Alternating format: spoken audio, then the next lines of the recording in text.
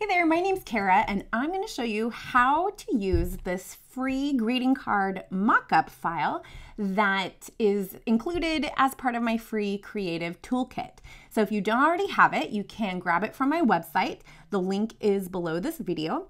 And then here is how easy it is to use. So we've got several layers here. The ones that are important to pay attention to are the smart objects here for front and back. So for the front design, I'm gonna go to that graphic and I'm just gonna select all and copy it and come over here. And if I double click that smart object, I can then paste my design in and it might require some scaling.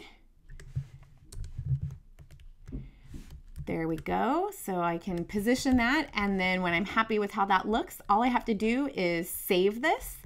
So Command or Control S and close it, Command or Control W, and you see it shows up here. Then I can repeat the process with the inside or the back side. I will copy and paste it, double click the back smart object here, paste it in, transform it, I'm just pressing Command or Control T to free transform. And then same thing, save it, close it, and it will show up here.